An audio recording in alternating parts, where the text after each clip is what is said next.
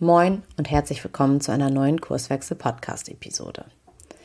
Ja, Bremer Unternehmen stehen vor einer besonderen Herausforderung, man könnte auch sagen vor einem nicht zu ignorierenden Problem. Es geht darum, dass junge, gut ausgebildete Menschen Bremen überzufällig häufig nach Studium oder Ausbildung oder auch nach den ersten ein, zwei Berufsjahren verlassen. Richtung Hamburg, Frankfurt, Dresden oder auch Leipzig in sogenannte Schwarmstädte. Ja, das ist natürlich insofern ein äh, unschöner Trend, als dass wir ja auch hier im Kurswechsel-Podcast immer davon reden, dass man mit Komplexität und äh, einer erhöhten Überraschungsdichte eigentlich nur gut umgehen kann, wenn man die richtigen Talente am Start hat. Ja, und das wird anscheinend insbesondere in Bremen deutlich schwieriger. Ich hatte dieses standortspezifische Problem für Bremer Unternehmen ehrlicherweise gar nicht so auf dem Schirm, bis mich Jana, Jared und Henry angepinkt haben und mit mir in den Austausch darüber gegangen sind. Das fand ich so spannend, dass ich gesagt habe, Mensch, vielleicht ist das auch was für unseren Kurswechsel-Podcast und die drei sind meiner Einladung gefolgt und sprechen heute genau über dieses Thema mit mir. Jana, Jared und Henry sind außerdem stark engagiert im Netzwerk I2B Next Level. Auch darum wird es in der Podcast-Episode gehen. Die drei werden erklären, was das ist, wie sie dazu gekommen sind und welche Rolle Netzwerken gerade im Kontext für ähm, Berufseinsteiger, jüngere Leute, aber auch äh, für die Unternehmen spielen kann, wenn sie junge Talente am Weggang hindern möchten. Also, in dieser Podcast-Episode steckt ganz viel drin. Ich wünsche euch äh, viel Spaß beim Hören und bis dann. Du hörst den Kurswechsel Podcast. Wir machen Arbeit wertevoll, lautet unsere Vision. Im Podcast sprechen wir über lebendige Organisationen, den Weg dorthin und die Nutzung von modernen Arbeitsformen.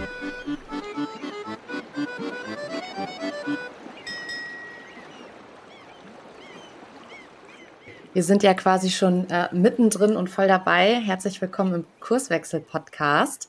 Ähm, ich freue mich total, dass ihr da seid, Jared, Jana und Henry. Klasse, dass wir das geschafft haben. Ich hatte ähm, im Intro eben schon gesagt, ähm, das ist irgendwie eine spannende Geschichte gewesen, wie wir miteinander in Kontakt gekommen sind. Ähm, weil ich eines Morgens in einem sozialen Netzwerk eine Nachricht bekam und ich auf ein Problem aufmerksam gemacht wurde, was ich gar nicht so auf der Pfanne hatte. Das Thema, dass junge Nachwuchstalente nach Ausbildung oder Studium Bremen verlassen. Insbesondere hat Bremen da ein Problem als Wirtschaftsstandort und dass es da ein Unternehmen beziehungsweise ein, ein junges Netzwerk gibt, ähm, was dieses Problem aufgreifen will. Die Rede ist von I2B Next Level und unter diesem Schirm sozusagen habt ihr euch ja zusammengefunden. Und insofern würde ich das einmal als Aufschlag nehmen. Ich freue mich total, dass ihr da seid. Sagt doch mal, wer seid ihr? Und dann gucken wir, was ist eigentlich I2B Next Level. Haut mal raus. Wir sind ein Team aus drei jungen Netzwerkbegeisterten äh, und wir wollen jungen Leuten ein kostenloses Business-Netzwerk anbieten für die junge Generation am Wirtschaftsstandort Bremen. Und dazu gehören jetzt Jared Henry und ich. Mhm. Ich bin Jana, ich bin 24 Jahre alt, arbeite in einem IT-Beratungsunternehmen als Junior SAP-Beraterin. Nebenbei absolviere ich noch meinen Bachelor äh, im Innovationsmanagement und digitalen Geschäftsprozessen. Und bei I2B bin ich tatsächlich schon seit fast zehn Jahren. Dazu kommen wir vielleicht gleich noch mal ein bisschen genauer zu der Geschichte. Ähm, Dort habe ich nämlich erst den Einlass gemacht, als ich noch ein bisschen jünger war und äh, später dann habe ich ein paar größere Aufgaben übernommen. Zum Beispiel, wenn krankheitsbedingt oder urlaubsbedingt jemand ausgefallen ist, habe ich dann auch die Veranstaltungsorganisation mit übernommen. Genau, so viel erstmal zu mir. Ja, ähm, dann vielleicht auch noch mal ein, zwei Sätze zu mir, zur Vorstellung. Also ich bin Henry, ich bin 30, ich bin sozusagen der Senior im Team äh, bin Studierender an der Hochschule Bremen im internationalen Studiengang Politikmanagement, habe das Studium aber aufgrund meiner Start-up-Gründung jetzt mal ein Jahr ausgesetzt. Ähm, sehr zum Verdruss meiner Lieblingsprofessorin, Professor Rothfeld, falls Sie das hören. So, Grüße gehen raus. Grüße gehen raus. An für die beste Professorin, ohne Witz. Ähm, ja, es fehlt, wie gesagt, nicht mehr viel zum Abschluss, aber es ist gerade einfach nicht zu schaffen. Also kurz und knapp zu meiner Vita. Ich habe mal ein Handwerk gelernt, ähm, genauer gesagt Zimmermann und habe dann nochmal angefangen zu studieren, weil ich auf dem Bau nicht mehr glücklich war und da auch wenig Perspektive für mich gesehen habe und habe neben meinem Studium immer ein Unternehmen auch ein bisschen Gas gegeben und gründe gerade ein Startup im Bereich Performance Marketing slash IT Recruiting. Also hier haben wir sozusagen eine technische Lösung entwickelt, mit der man IT-Fachkräfte über Marketingmethoden einfängt und vermittelt. Und da sind wir gerade in der Testkundenphase. Das läuft auch echt gut. Ist mega anstrengend, aber läuft gut. Und im März sind wir auf dem Markt. Ähm, nebenher arbeite ich noch als Werkstudent bei Adler Solar im Bereich Organisationsentwicklung, Prozessoptimierung und bauen natürlich auch das Netzwerk mit den beiden anderen auf. Und ja, da sind wir fleißig und bauen das weiter auf und aus. Und ich liebe alles, was ich tue. Ne? Also ich stehe jeden Morgen auf und habe total Bock auf Arbeiten, aber es ist echt viel und da leiden natürlich andere Bereiche drunter. Aber das ist temporär und hoffentlich bald ein bisschen entspannter. Top. Jared.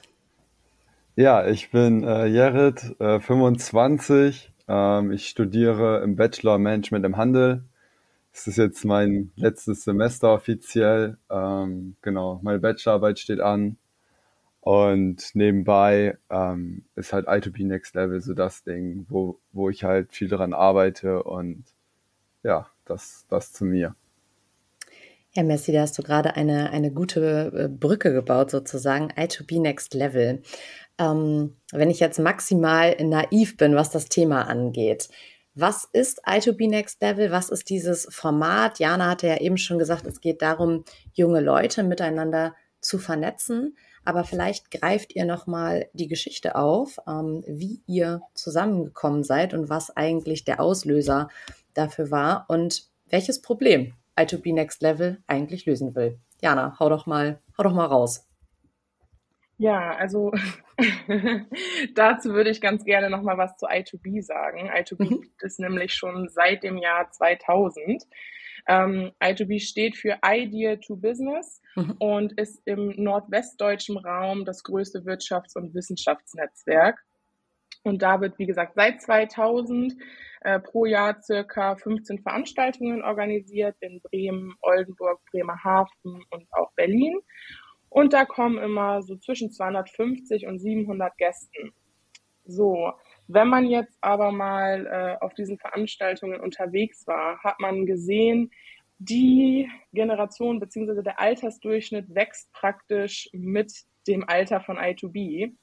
Und wir fanden es schade, dass so ein Netzwerkformat nicht für junge Leute bereitgestellt werden kann oder wird. Mhm. Ähm, deswegen haben wir im Frühjahr letzten Jahres mit 30 anderen Leuten begonnen, Workshops zu organisieren oder zu besuchen, zu planen und haben dann angefangen, einen Netzwerkableger von I2B zu planen für junge Leute. Und da haben wir dann mehrere Workshops gemacht, in denen wir das Konzept immer weiter ausgearbeitet haben. Und ich würde mal sagen, da wir alle selber zu dieser jüngeren Generation gehören, äh, gehen wir auch davon aus, dass wir die Anforderungen dieser jüngeren Generation zum Thema Netzwerken gerecht werden. Genau, also ähm, der Zweck von I2B Next Level ist also im Prinzip ein ähm, Netzwerk für junge Leute parat zu stellen und ähm, in diesem Netzwerk bearbeitet ihr sozusagen unterschiedliche Themen, ne? Wie kommen die Themen ja. dann zu euch? Weil das erste Thema, was wir ja oder was ihr ja quasi ähm, in die Luft geworfen hattet, um das mal so zu formulieren, ist ja genau das Thema mit dem äh, Wirtschaftsstandort in Bremen, dass junge Leute Bremen verlassen und Richtung ähm, ja, Leipzig, Dresden, äh, Frankfurt etc. abwandern. Was ist da noch so geplant oder wie kommen diese Themen zu euch, um das nochmal so ein bisschen äh, konkreter zu machen? Ja, das ist ganz unterschiedlich. Also tatsächlich beim ersten Thema, der Kurztitel lautete Berufseinstieg in Bremen, Chance oder Wüste, mhm. war es so, dass wir diesen an den Workshops ausgearbeitet haben. Wir haben überlegt, was interessiert die jungen Leute und äh, worauf haben die Bock. Mhm. Und da wir 30 Personen waren, konnten wir da dieses Thema ganz gut als unseren Favoriten heraussortieren oder haben festgestellt, das interessiert die meisten. Jetzt ist es so, für unsere nächste Veranstaltung, da kamen die Leute schon auf uns zu. Also ähm, jetzt das nächste Thema wird sein Nachhaltigkeit ähm, Purpose over Everything und da haben wir auch direkt schon eine Dame kennengelernt, eine Nachhaltigkeitsexpertin Katja Fittinghoff, mit der wir das zusammen organisieren. Und die kam tatsächlich mal an einer I2B-Veranstaltung auf uns zu und hat gesagt, ey, wollen wir nicht mal was zusammen machen? Ich habe hier wirklich ein gutes Thema. Und das ist jetzt nicht das erste Mal, dass uns das passiert ist. Tatsächlich haben wir wirklich die dritte, vierte, fünfte Veranstaltung schon fast fix und haben wir Leute, die das mit uns zusammen planen. Ja, ich finde, das ist ein, ist ein total cooler Modus, ähm, sich Themen sozusagen bei Kurswechsel würden wir sagen, sehr kundenorientiert, also aus dem Markt die Themen aufzugreifen, einen Rahmen zu stellen und ähm, diese Themen eben auch zu diskutieren. Und ja, lasst uns doch nochmal auf euer, auf euer erstes Thema eingehen. Also diese Thematik, dass ähm, junge Talente Bremen verlassen und das damit tatsächlich ja zum Problem für die Bremer Unternehmen wird, weil wir bei Kurswechsel reden ja ganz viel davon, dass alles draußen komplexer und dynamischer wird und dass ein Prozess natürlich keine, keine Idee hat. Das heißt, es braucht ja irgendwie genau diese Talente. Und da würde ich heute mit euch gerne so ein bisschen, ja, das vertiefen oder drauf rumdenken. Wie ist denn überhaupt gerade der Status quo ähm, am Wirtschaftsstandort Bremen und vor allem, was soll durch I2B Next Level in den nächsten zwei Jahren vielleicht auch besser sein? Einfach die, die jungen Leute wieder abwandern und in die Schwarmstädte ziehen. Also so wie ähm, Köln, Berlin, Hamburg. Mhm. Und in Bremen ist das nicht so. Also die Leute gehen nach Bremen, leben da ein paar Jahre und ziehen dann weiter. Und das ist natürlich ein fundamentales Problem für die Unternehmen an sich, weil mhm. die wollen ja vor allem junge Leute, die gerade studiert haben, die rohen Diamanten, die mhm. noch geschliffen werden können, genau die wollen sie ja erreichen. Und das ist natürlich ähm, einer unserer Kernideen und deswegen auch das erste Thema, um die jungen Leute abzuholen, um sie auch ein bisschen an den Wirtschaftsstandort Bremen zu binden und auch aufzuzeigen, wie viele attraktive Unternehmen es in Bremen gibt. Mhm. Ja, es ist, also wenn man sich mal so auch in unserem Bekanntenkreis umguckt, ne, Jana Jerret würde ich jetzt auch sagen, oder mal deutschlandweit guckt, ne, die Leute kommen nach Bremen oder kommen hier aus Bremen, ähm, genießen hier eine gute Ausbildung. Wir haben ja auch gute Universitäten, gute Hochschulen und so weiter und so fort. Und es macht ja auch irgendwie Spaß in Bremen. Ne? Also wenn du jung bist und ähm, irgendwie im ersten, zweiten, dritten, vierten, fünften Semester ey, hier kannst du Spaß haben. Hier hast du viele Grünflächen, hier hast du irgendwie Kneipen, hier hast du irgendwie auch eine lockere Kultur, hier hast du gute Sozialleistungen und so weiter und so fort. Das heißt, die Leute bilden sich hier aus und ziehen dann Lambo, ne? Mhm. So, das, ähm, das ist natürlich so ein Phänomen, äh, was verschiedene Gründe hat, denke ich mal, aber da können wir ja gleich nochmal drauf eingehen. Ähm, wir haben uns mit dem Thema, wie gesagt, auch da nicht nur im Rahmen unserer ersten Veranstaltung mit beschäftigt, sondern eben auch noch ein bisschen drüber hinaus und haben da auch ein bisschen was mitgebracht.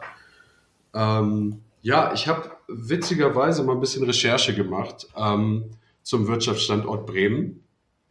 Ähm, und wenn ihr Bock habt, trage ich, euch, trage ich euch das einmal kurz vor und dann können wir da vielleicht mal drüber schnacken, weil das ist so, es ist so bezeichnend. Ne? Also kurz so vorab, so Städte sind ja das Herz eines Dienstleistungslandes wie der Bundesrepublik Deutschland. Mhm. Also die Zukunft liegt eben in der Stadt ähm, als Heimat von Hochschulen und Forschungsinstituten, Startups und spezialisierten Dienstleistern und so weiter sind Städte eben der Schlüssel für eine wettbewerbsfähige Wirtschaft. So sollte es sein. Und zwar ziehen immer mehr Menschen in ruralere Gegenden, also aus Land oder in Kleinstädte, aber gearbeitet wird eben in den Städten. Und hierzu gibt es ziemlich interessante Erhebungen und das wollte ich mal mit euch teilen. Wir haben da mal was mitgebracht, ähm, was ziemlich bezeichnet ist. Ähm, also ohne die HörerInnen jetzt groß erschlagen zu wollen, lohnt sich da echt mal ein kurzer Aufschweifer. Ich fasse mich da auch ganz kurz. Ähm, nur um jetzt mal eine Erhebung zu nennen, das IW, also das Institut der deutschen Wirtschaft, erhebt jährliche Großstadtrankings ne, und vergleicht also die 71 Großstädte in Deutschland miteinander. Und die Auswertungen zum letzten Jahr sind ziemlich interessant. Ähm, unterteilt sind die Städte da in einem Niveau-Ranking, einem Dynamik-Ranking und einem Nachhaltigkeitsranking. Und das Niveau-Ranking bewertet sozusagen die derzeitige Wohn-, Lebens-, Arbeits- und Wirtschaftssituation der deutschen Großstädte anhand von über 50 Indikatoren. Und Bremen ist hier beispielsweise bei Wohnen und Wirtschaft im oberen Drittel im Ranking angesiedelt. Also ist okay. bei Leben und Arbeiten schon im Mittelfeld, also hm, nicht mehr so okay. Besonders negativ fällt Bremen hier unter anderem durch Straftaten auf.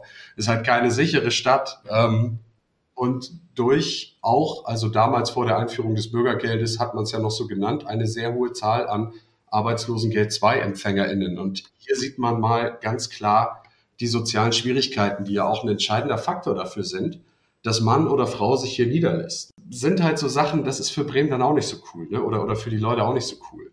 Und dann geht's weiter mit dem Dynamik-Ranking. Das vergleicht dann sozusagen die Entwicklung von 36 Indikatoren des Niveau-Rankings für die letzten fünf Jahre. Und ein solcher Vergleich ist wissenschaftlich eben wichtig, um Entwicklungstrends zu identifizieren und den Erfolg von Handlungsmaßnahmen zu überprüfen. Und so wird auch deutlich, welche Städte im Standortwettbewerb aufgeholt haben oder eben an Wettbewerbsfähigkeit verloren haben. Und Bremen schneidet hier beispielsweise gut im Bereich Arbeitsplatzversorgung ab, mit Rang 16. Das ist krass. Also das zeigt ja auch, dass hier etwas geht für unsere Zielgruppe. Katastrophal wiederum ist Bremen hier eine Einwohnerentwicklung, was Jared eben schon angesprochen hatte. Und bei SchulabgängerInnen ohne Abschluss. Platz 70, Mann, von 71. Glückwunsch. Das ist echt nicht gut. Ne? So, und dann haben wir noch den Nachhaltigkeitsindex, der auch ganz spannend ist.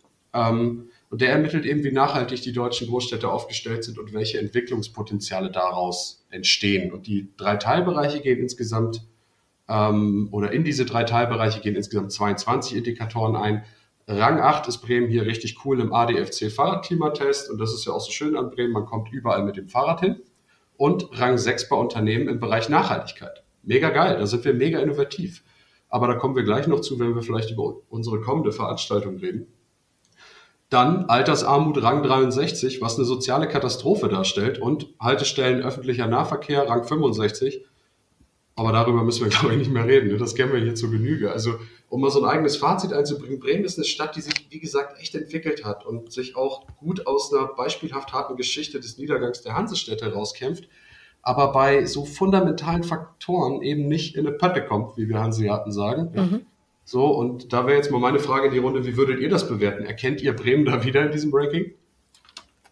Also ich denke definitiv ähm, in den sozialen Aspekten, ähm, aber auch an sich ist es halt oft in vielen Dingen so, dass man halt auch weiß oder es hört, ey, Schulsystem in Bremen und so weiter, der Ruf eilt dem ja auch voraus. Und ich glaube, das ist halt auch ein Problem an sich. Einfach durch den Ruf wird eine Stadt unattraktiv, obwohl sie es vielleicht gar nicht ist, sondern das sind dann so Hauptfaktoren. Und da sagen sofort alle, oh nee, das möchte ich jetzt nicht und das möchte ich mir nicht oder meinen Kindern gar nicht antun, aber das ist eigentlich gar nicht so extrem, wie es sich immer anhört.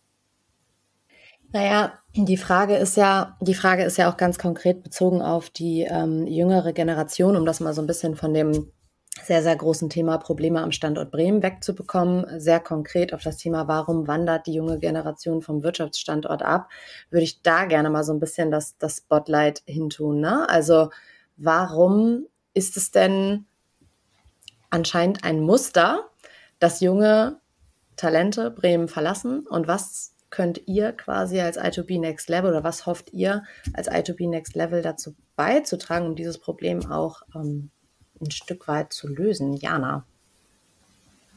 Ja, also ich glaube, Henry hat klar gemacht, dass der Arbeitsmarkt hier nicht die zentrale Ursache ist. Ähm, da ist nämlich eine Menge vorhanden. Das Problem ist nur das, dass es leider nicht ganz so sichtbar ist. Und genau das wollen wir mit I2B Next Level erreichen. Wir bieten neben dem normalen Netzwerken auch Jobspeed-Datings an, ähm, wo die äh, jungen Generationen Zeit haben, verschiedenste Unternehmen kennenzulernen und da sich über Jobperspektiven zu informieren. Ich fand den äh, Punkt von dir, Jana, eben noch besonders ähm, spannend, dass du gesagt hast, es, es liegt vielleicht gar nicht so an den äh, Unternehmen, ähm, sondern auch an der, an der Art und Weise, ob man sich quasi kennt. Also wir hatten das ja auch auf der, auf der Netzwerkveranstaltung von euch, ne, dass so dieses Thema Bremen funktioniert über Beziehungen. Man sagt auch ganz platt hier bei uns, ja, Bremen ist ein Dorf und der Schlüssel ist eigentlich das Netzwerken und dieses Problem habt ihr ja bei A2B Next Level auch ganz klar erkannt und sozusagen ähm, für euch als, als Thema auch aufgegriffen. Das finde ich insofern relativ spannend, weil die Bedeutung des Netzwerkens da, glaube ich, auch eine ganz zentrale Rolle spielt. Und ich würde euch gerne mal fragen, was sind die Gedanken, die euch dazu in den Sinn kommen? Also was bedeutet Netzwerken für die jüngere Generation? Was sind da so eure, eure Learnings aus der Zeit bisher? Also das Netzwerken in der jungen Generation ist, glaube ich, dem der älteren Generation gar nicht so weit entfernt. Also das, das ist, ich glaube, es geht viel mehr um Themen, um ähm, Inhalte, die selber mitgestaltet werden können und auch, dass man den Leuten die Chance gibt, ähm, gesehen zu werden. Ähm, wir haben, äh, ich war schon auf verschiedenen Netzwerkveranstaltungen, es war immer das Thema, dass der Altersdurchschnitt einfach absurd hoch war und dann da zwei, drei junge Leute rumstanden, die dann auch irgendwie gar nicht so genau, vielleicht auch zum ersten Mal da waren, gar nicht das Gefühl dafür hatten, wie gehe ich da jetzt mit um? Ich kann jetzt ja doch nicht einfach den CEO ansprechen, obwohl genau das das wäre, aber wenn man halt jetzt nicht der super extrovertierte Typ ist, dann hat man genau das. Und ich, ich glaube, das ist halt das Kernproblem, dass, dass wir jungen Leute einfach ähm, gesehen werden wollen und dann mitgenommen werden wollen und das halt ein Kernproblem ist.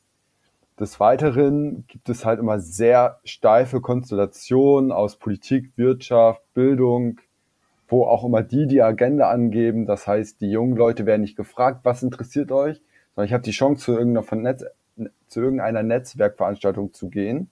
Aber wenn mich das Thema nicht interessiert, gehe ich ja auch nicht hin. Aber selbst wenn ich sage, okay, aber ich möchte mich gerne irgendwie connecten, dann ähm, habe ich nie das Gefühl, irgendwie ein Teil von dem so zu sein, sondern maximal irgendwie, ja, ich gehe da halt hin. Und mhm. ich glaube, das Wichtigste ist, die jungen Leute sollten den Ton angeben. Safe. Ja. Und Jana auch springt auch gleich schon aus dem, aus dem virtuellen Stuhl. was sie dazu sagt. Ja, Jana, mal raus. Also, um Jared einmal zu ergänzen, ähm, ja. für genau dieses Problem, dass die jungen Leute sich nicht trauen, ähm, vielleicht auch mal Leute anzusprechen, die ja, aus der Wirtschaft kommen und schon ein bisschen angesehener, schon was erreicht haben. Dafür haben wir das Buddy-System entwickelt.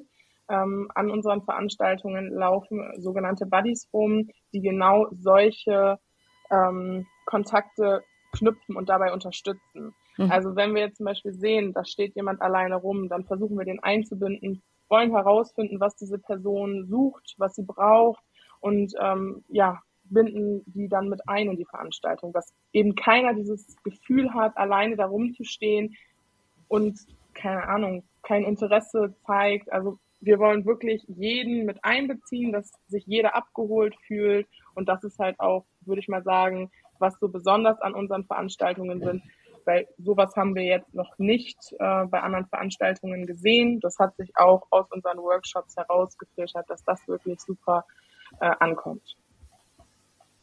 Ja, das ist auch, glaube ich, was, was euch ähm, ziemlich einmalig macht, ne? Also, dass ihr quasi diese, diese Themen ähm, aktiv einfischt sozusagen und nicht einfach ähm, was rauspusht, sondern immer guckt, äh, was ist da eigentlich gerade irgendwie ein interessantes Steckenpferd und noch was finde ich ähm, sehr, sehr, bemerkenswert. Im Prinzip ähm, hatten wir ja auch schon erörtert, dass genau dieses Thema eine, eine große Rolle spielt, ähm, dass die Unternehmen durch euch ja auch eine Plattform bekommen, mit jungen Talenten sozusagen in Resonanz zu gehen. Ne? Also im Prinzip kann man sich das ja so vorstellen, ihr seid sozusagen die Spinne im Netz, ihr holt junge Talente in euer Netzwerk rein und lebt aber auch natürlich davon, dass ähm, Unternehmer und Unternehmerinnen eben mit am Start sind und dadurch bietet sich ja eine ganz andere ja, Kommunikationsmöglichkeit und äh, das war, ich war ja nun bei der ersten Veranstaltung mit dabei, fand ich irgendwie schön zu beobachten, weil da doch nochmal ganz andere Gespräche auch entstanden sind. Jared. Ja, also wir versuchen bei uns, dass äh, 80 Prozent junge Leute da sind, also Studierende, gerade fertig Studierende und Young Professionals äh, und 20 Prozent Unternehmerinnen, Entscheider, einfach Leute aus dem Unternehmen, ähm, weil genau das ist, glaube ich, irgendwie das, was es auch irgendwie besonders macht, weil wir wollen, dass die Leute nicht irgendwie Gruppenbi ähm, eine Gruppenbildung machen und sich quasi nicht erweitern, sondern dadurch, dass die Leute da sind, sich ähm, auch mal neuen Sachen ähm, sich selbst verwirklichen können und halt auch einfach neue Leute kennenlernen, die sie vorher noch nie irgendwie oder wovor sie halt vorher Angst hatten und sich das nicht hätten vorstellen können. Und das wurde auch reflektiert, also dieses von den Unternehmern, aber auch von den jungen Leuten, die bei der Veranstaltung waren, wie, wie toll das ist und dass es halt nicht jetzt irgendwie eine Messe oder eine Jobbörse ist, wo jeder das Gefühl hat, ich muss jetzt, sondern dass es so, es ist entspannt, man trinkt dabei ein Getränk, man redet miteinander und da ist nichts Zwanghaftes, nichts irgendwie so, wir müssen jetzt hier irgendwie ein Gespräch führen, sondern wir dürfen hier ein Gespräch führen. Und ich glaube, das macht es auch irgendwie, ähm, macht es, glaube ich, auch anders, beziehungsweise da ist dann auch der Unterschied zu den anderen Netzwerken, beziehungsweise zu anderen Veranstaltungen, die vielleicht noch jobbezogener sind, weil wir sind keine Jobbörse. Mhm. Und, vielleicht ganz kurz ergänzender äh, Gedanke, bevor Henry gleich aus seinem äh, Stuhl hopst, sozusagen für die Hörer und Hörerinnen. Ähm, ihr könnt es ja nicht sehen, aber unser äh, Aufzeichnungstool erlaubt so ein bisschen so dieses Handhochheben. Und wir sagen immer, wenn wir mit mehreren hier im virtuellen Raum sind, dann äh, bürgert sich das so ein bisschen ein, damit nicht alle äh, durcheinander schnacken sozusagen. Das ist hier gerade so ein bisschen ähm, das Bild. Ja, also ich, ich finde den Punkt halt so, so zentral, weil ähm, wir sagten vorhin so, naja, eigentlich so die, die ähm, Unternehmen sind da, die Arbeitsplätze sind eigentlich da, junge Leute werden gebraucht. Und eigentlich ist das nicht das Problem von Bremen. Ich sehe das mit meiner Organisationsentwicklerbrille ganz anders. Ich glaube, das ist ein ganz, ganz großes Problem. Das hatte ich ja damals auch auf der Podiumsdiskussion gesagt, dass Unternehmen zwar da sind, aber die Rahmenbedingungen gar nicht mehr zu dem passen, wie insbesondere junge Menschen, aber auch Menschen im Allgemeinen arbeiten wollen. Und ich glaube, da steckt in diesem Netzwerk auch noch so ein mega Potenzial, weil die Unternehmen auf einmal in Austausch kommen mit Leuten, die quasi so eine Art Exotenfunktion einnehmen. Also die sind ja noch nicht befangen, sondern bringen ganz neue Impulse mit rein, wie man über Arbeit, Zusammenarbeit etc. nachdenkt. Und ich glaube, das wird auch ein ganz, ganz großer Mehrwert eures Netzwerkes sein, weil wann kriege ich denn schon mal so ein offenes Feedback als Unternehmen? Gar nicht. Und ähm, ich glaube, das ist echt ein, ein ganz großer Vorteil. So, jetzt aber Henry. ich konnte es mir nicht verkneifen. Oh, ich hätte jetzt gerne da noch kurz einen Satz zu gesagt. Ja, mach mal, hau mal raus. Weil ich glaube, ähm, I2B Next Level ist keine Pflichtveranstaltung für Unternehmer, sondern eine Veranstaltung, zu der sie gerne gehen, weil sie dort echt was lernen können. Ja, genau das. Ja. Jetzt aber, Henry. Jetzt aber, okay. Volles ja, Match. Ich wollte ich wollt dazu noch mal was sagen, also zur, auch zu den jüngeren Generationen und Punkt Netzwerken und vor allem auch ähm, die Unternehmen in dem Kontext. Also wir haben uns halt gedacht, hey, wir bauen ein Netzwerk, und wie soll das aussehen? Ne? Also wir wurden gefragt von unserem Mutterschiff I2B, wie gesagt, ähm, habt ihr Bock, das aufzubauen? Und das sind, das sind alles alte Leute. So, und die sagen halt, ey, ihr baut das auf. So, also die jungen Leute sollten das Barometer für diese Formate sein. Und das wird auch oft verfehlt. Also das fehlt, wie wir finden. Und bei uns bestimmen wir halt die Agenda. Ne? Also uns sagt niemand, was wir zu tun oder zu lassen haben. Unsere Supporter bei, bei I2B tun nicht mehr und nicht weniger, als uns zu unterstützen. Und niemand redet uns rein und wir werden da mit Kontakten und guten Ratschlägen versorgt, die wir entweder nutzen können oder eben nicht. Also wir haben keine Chefs, höchstens Mentoren und das Ziel ist klar definiert. Ne? Baut ein cooles Netzwerk nach euren und nach den Vorstellungen der Menschen eurer Generation auf und der Weg gehört eben uns. Also Grüße gehen auch hier raus an dieser Stelle an unser Mutterschiff. Wir horchen halt immer in unsere Zielgruppe rein ne, und versuchen zu verstehen, was gewollt ist. Also das versuchen wir dann umzusetzen und hier müssen wir natürlich auch testen.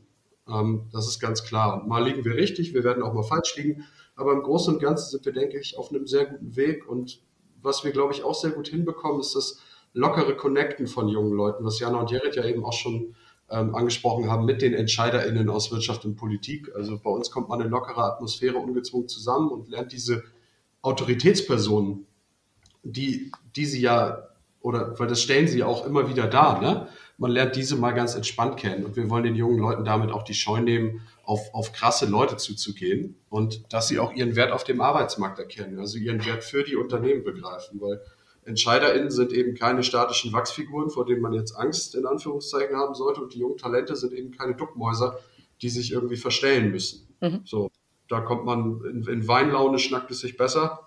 Bremer Keller sponsert uns da immer schön mit ein paar Flaschen, damit es auch irgendwie ein cooles Netzwerken ist. Und dabei sind auch schon viele tolle Kontakte eben zustande gekommen. Mhm.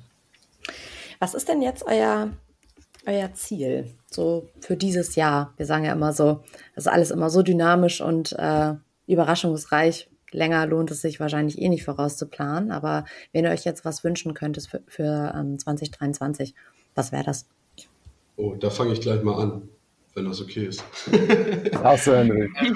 Meine, meine, meine persönliche Vision deckt sich wahrscheinlich mit denen der anderen. Also wir wollen etabliert sein, wir wollen respektiert werden, wir wollen eine große Community haben, wir möchten, glaube ich, ein regelmäßiges Jobspeed-Dating haben, ähm, wo Leute zu Jobs kommen. Wir möchten, dass Leute auf der Netzwerkfläche ähm, zusammenkommen und irgendwie eine gute Zeit haben, ob nun privat oder geschäftlich. Und wir möchten natürlich auch, ähm, dass unser Format sich trägt. Ne? Also wir, wir sind ja arm, aber kreativ und dementsprechend immer, immer auf der Suche Not nach macht erfinderisch. Ja, ja wir, wir, finanzieren uns ja über Kooperationspartner und das macht auch total Spaß, ne? sozusagen die Jagd in Anführungszeichen mhm. auf Supporter und Supporterinnen und Leute überzeugen und so, weil wir das auch selbstbewusst tun können, weil wir irgendwie auch ein geiles Netzwerk sind. Aber es wäre natürlich mega cool, wenn wir irgendwann vielleicht das so etablieren, ähm, dass wir da ExpertInnen haben, die thematisch da eine große Rolle spielen und dass wir so etabliert sind, dass Unternehmen vielleicht auch sagen, ey, geil, da gehe ich regelmäßig hin, ähm, da kriege ich geile Inputs und dafür gebe ich ihnen auch jedes Jahr irgendwie ähm, Summe X, damit das irgendwie bestehen kann und weiter kostenlos mhm. für, für die Teilnehmenden sein kann. Und dann wollen wir natürlich die Teilnehmenden haben, die sagen, ey, Pflichttermin, zack, ITB Next Level. Mhm. Das wäre das wär abgefahren. ja, Henry denkt immer gleich sehr groß. Ähm, Ziel für dieses, ja, also ich glaube für dieses Jahr, ähm, wir haben vor, dieses Jahr vier Veranstaltungen zu machen, die nächstes Jahr am 30. März. Mhm. Ähm, vier erfolgreiche Veranstaltungen zu machen, zu wachsen, eine Community aufzubauen und uns einen Namen zu machen und wirklich nicht nur irgendwie eine Randerscheinung zu sein, sondern dass uns die Unternehmen in Bremen kennen und wissen, dass sie da erfolgreich ähm, junge Leute mit jungen Leuten ins Gespräch kommen können. Ich glaube, so das ist auf jeden Fall das Ziel, was wir uns für dieses Jahr setzen. Hm. Und wenn ich das jetzt so höre, ähm, keine Ahnung, als, als Unternehmerin oder wie auch immer, ähm, wie kann ich mitmachen? Wie kann ich Teil eurer Community werden? Wie kann ich mit euch in Kontakt treten? Macht das mal konkret, Buddha bei die Fische, sagen wir bei Kurswechsel. Jana. Ja, da gibt es diverse Möglichkeiten. Ne? Einmal kann man natürlich ähm, an unseren Veranstaltungen direkt auf uns zukommen. Das äh, haben wir natürlich am liebsten da persönlich direkt drüber zu sprechen. Natürlich kann man uns aber auch über LinkedIn, Instagram oder per Mail erreichen. Also da gibt es verschiedene Wege, äh, wie die Unternehmen auf uns zukommen können. Das können wir sonst auch nochmal ähm, in den Shownotes sozusagen verlinken.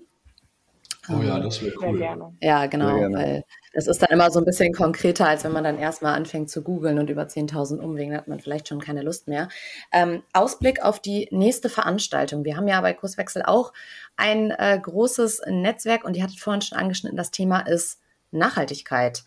Mm, wie ist da gerade so die Lage? Also jetzt gar nicht, um thematisch zu tief reinzugehen, sondern was braucht es gerade noch? Ähm, was, was wünscht ihr euch für die Veranstaltung? Vielleicht da auch noch mal so ein bisschen ins Detail. Ja, also wir haben, also das Thema lautet äh, genau und jetzt Nachhaltigkeit in der Wirtschaft, Purpose over Everything. Und ähm, da sind wir thematisch ganz gut durch Katja Fittinghoff, ähm, unsere Nachhaltigkeitsexpertin, die uns da tatkräftig unterstützt. Die ist eine erfolgreiche Unternehmensberaterin in dem Bereich ähm, und stellt sich da eben thematisch in den Mittelpunkt, sagt auch, hey, Podium so und so vielleicht, ne? und mit uns zusammen natürlich in Absprache. Und da ähm, bringen wir ein ganz spannendes Podium auf die Bühne, wahrscheinlich aus dem traditionelleren Unternehmen, ähm, ein modernes Unternehmen, ähm, ein Herr aus der Gemeinwohlökonomie, ähm, einem tollen, tollen Verband oder einer tollen Bewegung, ist auch äh, da auf dem Podium zugegen. Und was wir jetzt eigentlich noch bräuchten, ist natürlich das gute alte Geld. Ne? Also wir sind da im Austausch. Ja, das, das kann man ja so sagen, wie es ist. Also wir brauchen, ähm, ich weiß gar nicht, was soll die Veranstaltung kosten, ist noch gar nicht raus, ne? Ohne jetzt hier, wir hauen jetzt mal keine Zahlen raus. Aber wir brauchen halt Unternehmen, die sagen, ey, geil.